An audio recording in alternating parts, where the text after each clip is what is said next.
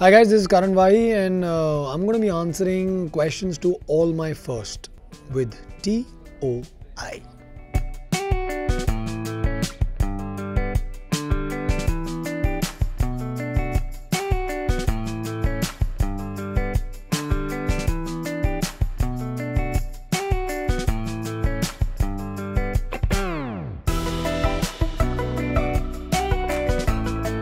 first pay cheque अठतीस हज़ार दो सौ पचास रुपये remix Bombay first standard first standard कोई लड़की थी ऐसी हाँ कोई कोई तो थी.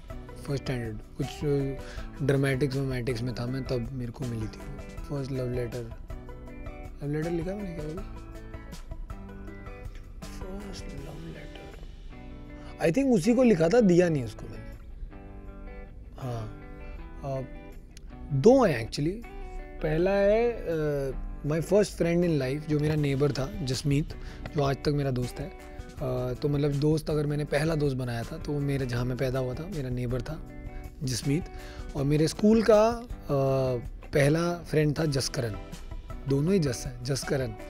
और जसकरण अमेरिका में है अब uh, उससे भी मेरी बात होती है हमेशा। और जसमीत दिल्ली में है। फ़र्स्ट किस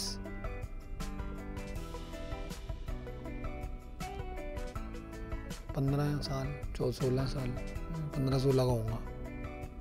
फ़र्स्ट फाइट मैंने ना एक छोटा था मैं, दिवाली के दिन मैंने किसी के सर पे बोतल फोड़ दी थी बियर की। मेरी नहीं थी, पापा की थी। कुछ उसने मुझे बोला गलत तो उसने मेरे मम्मी को कुछ गलत बोला तो बोतल पड़ी थी। तो मैं हुआ तकरीबन दस साल का। फ़र्स्ट बेस्ट कॉम्प्लीमेंट रीमिक्स के बाद ना मैं अपने कॉलेज गया था।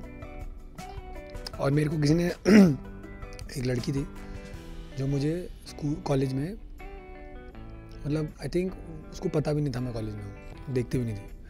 तो मैं वापस जब गया रीमिक्स ऑन एयर आ गया था तो मैं कॉलेज गया तो मेरे पास आई और उसने मुझे कहा, यार तुझे एक बात बताऊँ, एक लड़का आता है टीवी पे रणवीर सिसोदिया, तू ना बिल्कुल वैसा लगता है बहुत क्यूट है वो लड़का। तो मैंने उसको तब बताया कि वो लड़का मैं ही हूँ।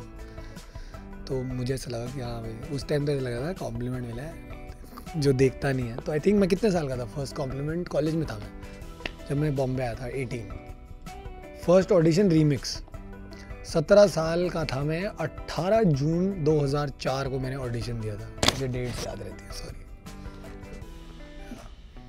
good thing in life it's good when you have a wife